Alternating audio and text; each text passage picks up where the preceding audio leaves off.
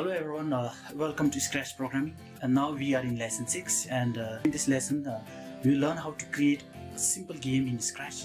So well, uh, I'm Davinder from Jumbling Central School. So to begin with, uh, to create a simple game we have to know three things. The first one is events block and then uh, second one is sensing block and uh, third one is control statement. So using these three blocks we are going to create a simple game. These three blocks if I explain with the snake game, so everyone is familiar about the snake game. So what is events? How this events is happening in snake game? When we are pressing a navigation key, when we press right arrow, the snake is moving right. That means some action is happening. So this one is an event. So regarding sensing, like when our snake game touches the coin, that means something is happening there. That means this one is sensing because our sensing a touch of coin and regarding control block, so when snake touches a coin, that means our score gets updated. That means this one is a condition. And next thing is if snake touches his own body, then snake game gets over. So these are the actually conditions and these conditions can be applied to control blocks. Basically these three blocks are very very important while we are creating a game. So let's start with uh, our scratch program. So I will open my scratch uh, now we will try to create a simple game, a mouse game, where mouse try to eat uh, bread. So we will try to use all the three blocks, events block, sensing block, and the control block to create this game. Firstly, I will insert a sprite here, a mouse. So go and search for mouse. And then I've inserted a mouse here. So till data, whenever we are triggering our game, or any events we are using this green flag event. So we are now going to use a different event. So for that I will use a key event. For that I have to use when key is pressed. So when arrow is clicked I want my mouse to move right. So for that first thing is I need to set a position. So for that I want to point my mouse to direction 90 currently this mouse is pointing towards 90 you can you can see this from the direction. And when this right arrow is clicked my mouse will point towards 90 degree and I want to move 10 step. So if I check you can see that when I press right key my mouse start to move 10 step.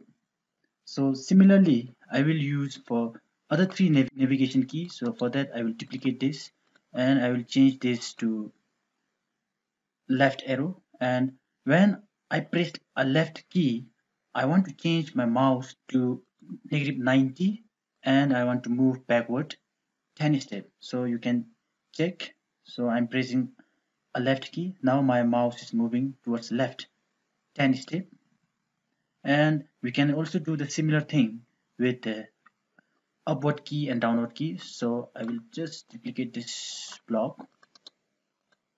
And I will place it here. And I will change this right arrow to upward key. And then I will change the direction of the mouse towards zero so that my mouse will face upward. And and it will move upward 10 step. So let's check it. So now you see that my mouse is moving up. And when I press right key my mouse is moving towards right. And when I press left key my mouse is moving towards left. And nothing is happening when I press a downward arrow. So we have to apply the same thing for the downward arrow. So I will duplicate this block of code and I will change this upward arrow to downward arrow. And then I will change the direction of the mouse towards 180 and uh, now it should work fine.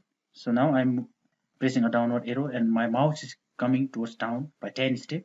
And when I press right key my mouse is moving towards right and when I press left key my mouse is moving towards left. Now we are done with the mouse. So now I'm going to place another object here another sprite that is a braid so for that I have to insert a braid. So I will search a braid here and I will insert this. And I will place this braid somewhere here. Now I'm going to apply a sensing and some condition here. When my mouse touches a braid then my braid should hide for some time that I need to write some code so for that I, I will use a green flagged event. So when this green flag is clicked, so initially when my game get triggered, I want this breakcode to get triggered. I will use some sensing. So for that, I will go to the sensing block and I will use this touch so that when my mouse touches a braid, so for that I have to use a mouse. To apply these conditions, we have to use a control statement. So for that, you need to go to the control block and you can use if conditions. So if my mouse touches a braid, then it has to do something else. So for that, I have to pass some statement here to hide a braid when mouse touches it.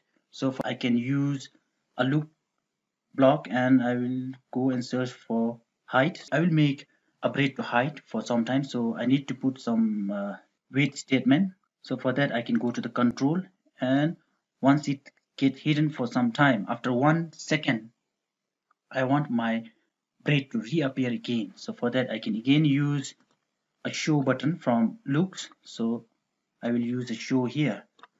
So now what's happening is, so you see that if I start a game, my mouse get hidden for some times and again it's reappearing. So I want this thing, this code to run forever. So for that, I have to use forever control block. So I will put this and I want these conditions to run forever until and unless I stop a game. So I can put this block of code inside a forever block. So now not only this, I also want to broadcast some message that uh, I'm eaten by a rat. So for that, I may even broadcast a message. I can use uh, an event and I may use this block. This one is a broadcast message. So before the braid gets hidden, I want to broadcast a message.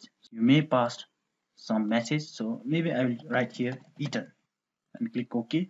Now we are done with the sensing and control statement. Now let's try to run our code. So you see that our mouse code is also ready and our braid code is also ready. And now i'm starting a game so so when i'm placing a green flag my braid code gets activated where i have included a sensing and control statement.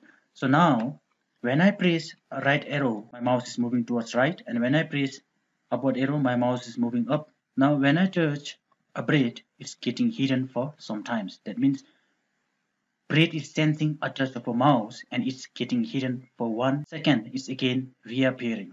So this is how a control block sensing and uh, key press events is happening.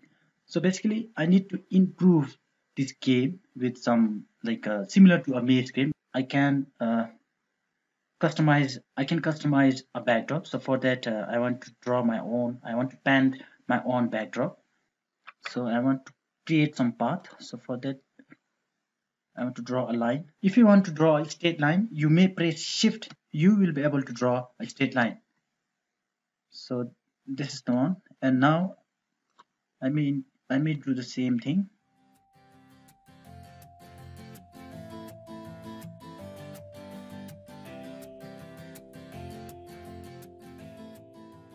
I want to keep it till here. So now I want to go to the code section and I want to resize my red so I, I will change it to around 30 I, I want to keep my braid in the center. So now let's play our game. So for that I have to trigger my game and I'm making it fully screen. So now I'm I'm searching for a braid so when I press upward key it's moving up. And when I press left arrow is coming towards left and so I'm towards the braid. And when I touch the braid it gets hidden for sometimes so basically this is a basic idea on how to apply all those events control blocks and sensing blocks